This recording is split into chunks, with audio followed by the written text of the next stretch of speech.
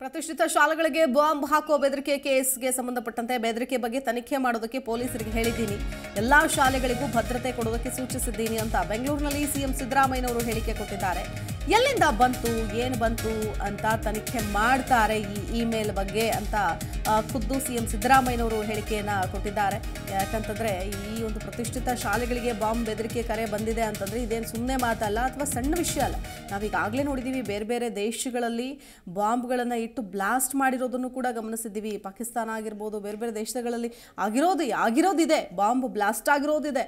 ಆದರೆ ಈ ಘಟನೆಗಳನ್ನು ಒಂದು ಕ್ಷಣ ನೆನಪಿಸ್ಕೊಂಡ್ರೆ ಸಾಕು, ಆತಂಕ ಆಗುತ್ತೆ. ಇಂಥ ಸಿಚುವೇಶನ್ ನಮ್ಮ ದೇಶಕ್ಕೆ ನಮ್ಮ ರಾಜ್ಯಕ್ಕೆ ನಮ್ಮ ರಾಜ್ಯ ರಾಜಧಾನಿಗೆ ಬಂತ ಅಂತ. ಎಸ್ ಸಿ ಎಂ ಸಿದ್ದರಾಮಯ್ಯನವರು ಮಾತನಾಡಿದ್ರು ಏನು ಹೇಳಿದ್ರು ಕೇಳೋಣ.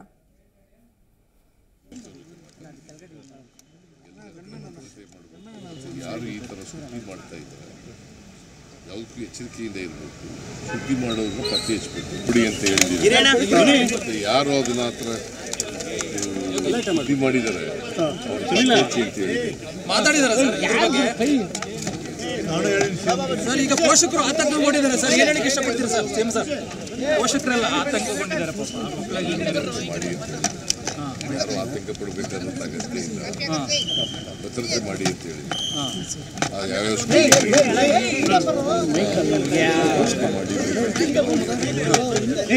ಪ್ರಾಥಮಿಕವಾಗಿ ವರದಿ ಮಾಹಿತಿ ತಗೊಂಡಾಗ ಪ್ರಾಥಮಿಕವಾಗಿ ಮಾಹಿತಿ ತಗೊಂಡಾಗ?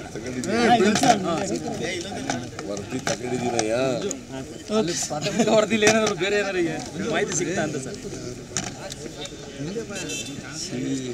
ಈ ಥರದವು ಹಿಂದೆ ಅಣ್ಣ ಇದು ನನಗೆ ತಗೊಳಕ್ಕಾಗ್ತಾ ಇಲ್ಲ ಬಿಡಕ್ಕಾಗ್ತಾ ಬಟ್ ಆದರೂ ಕೂಡ ನಮ್ಮ ಎಚ್ಚರಿಕೆ ನಾವು ಪ್ರತಿಕ್ಷಣದ ಸುದ್ದಿಗಾಗಿ Zee Kannada news app download ಮಾಡಿ. Live TV latest updates entertainment lifestyle technology ಸುದ್ದಿ ನಿಮ್ಮ ಅಂಗೈಯಲ್ಲಿ.